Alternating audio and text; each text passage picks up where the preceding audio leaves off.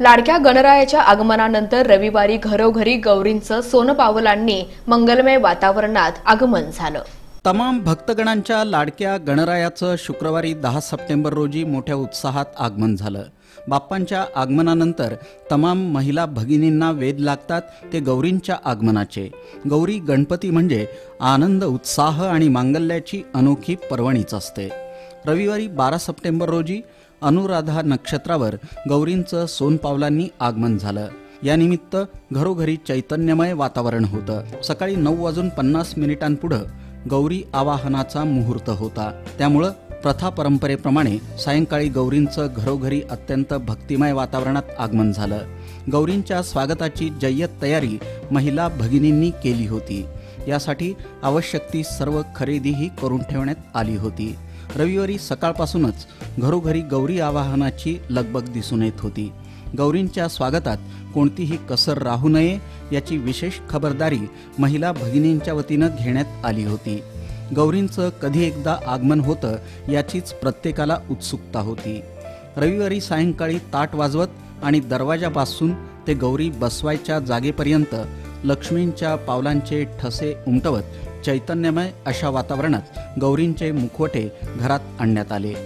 गौरी आली गौरी कशाच्या पावली आली असा संवाद करत हे मुखवटे घरात आणण्यात आले.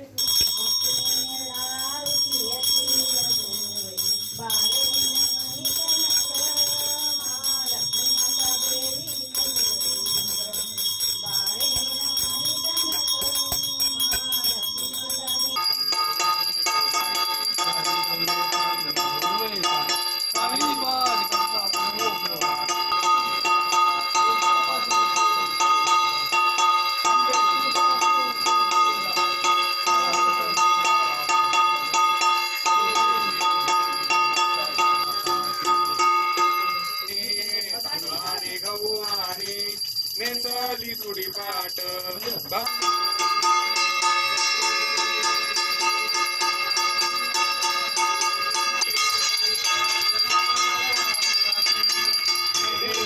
कशाची पावलं मिळाली सरळ सरळ या. सोन्याची पावलानं लक्ष्मी आई आली कशाच्या लक्ष्मी पावलानं आई आली कशाच्या पावलं? सोन्याच्या पावलानं लक्ष्मी आई आली. कशाची कडी कडी सोन्याच्या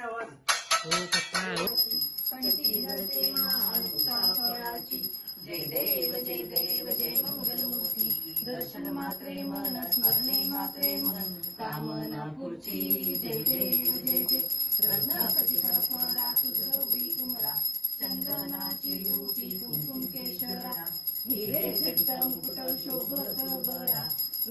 पुरे चरणी घागरिया जय देव जय देव जय मंगलमूर्ती दर्शन मात्रे मन स्मरणे मात्रे मन कामना पूर्ती जय देव जय देव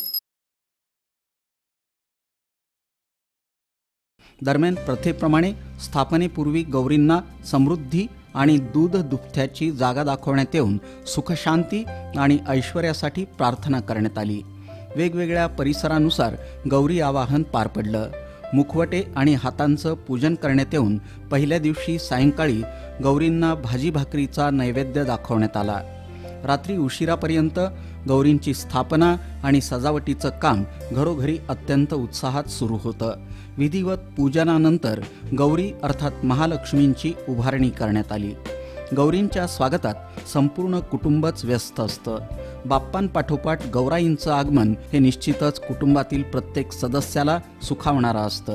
त्यामुळं गौरींच्या स्वागतापासून ते विसर्जनापर्यंत प्रत्येक क्षण हा महिला भगिनींबरोबरच संपूर्ण कुटुंबाच्या दृष्टीनं महत्त्वपूर्ण आणि आनंददायी असाच असतो.